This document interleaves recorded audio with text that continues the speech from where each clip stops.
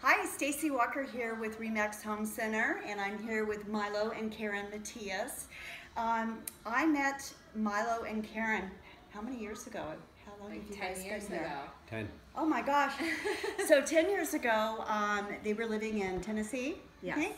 And uh, Karen's parents, Mary and Joe, started scouting uh, out realtors and coming to open houses. And I, I was lucky enough to meet them, and we hit it off. Mary was a realtor back in Florida. So lo and behold, we found Karen and Milo a house, and they happen to even be my neighbors, so I'm right around the corner right now. And I've watched their family grow, and we've just become really good friends. Um, at any rate, uh, they all owned, Karen's parents and Karen and Milo owned a property in Oceana, and we just sold it and closed escrow on it. So we're kind of celebrating today, right? Right. Yes.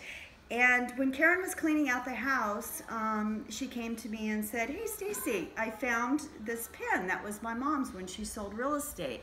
It has a little sold sign on it, and she said I'd like to give it to you." Which I was very flattered, and I put it in my jewelry box. Well, here we are now, and I'd like Karen to pin it on me if you wouldn't mind. Sure. It would Aw. be very special. Yay. Don't poke me. Oh, that's great. That's great. Yeah. It's a sign of, of good luck. Yes, That's it is. right. That's right, and I love you guys. I love you Yes, too. love you We had a great transaction. Yeah. We did. And um, I hope that Mary's up there looking down on us and saying, "You guys did a She great is. job." Yes. We did. We did a Good great job. job. Yeah, yeah. Cheers to Mary. Yay!